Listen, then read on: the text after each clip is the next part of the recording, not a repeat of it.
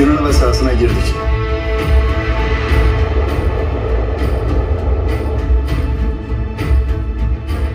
Şu an haberleşmede bir kopukluk olduğu rapor edildi ama 12.30'da Atatürk Havalimanı'na inmelerini bekliyoruz.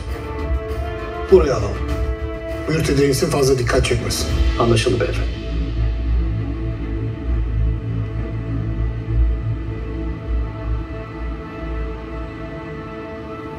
Naim.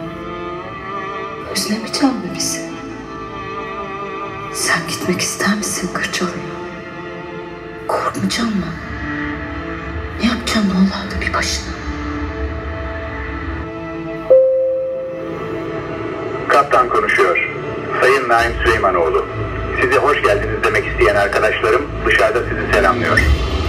Sayın Naim Süleymanoğlu, güvenliğinizden sorumlu Efeler filosu olarak hemen yanı başınızda sizi selamlıyoruz. Memlekete, ana vatana, Türkiye Cumhuriyeti topraklarına hoş geldiniz.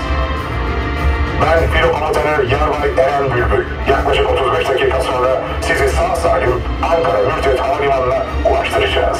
Sizi bağrına basmak için bekleyen halkımızla buluşturacağız. Havasına, suyuna, taşına, toprağına Bin can feda bir tek dostuma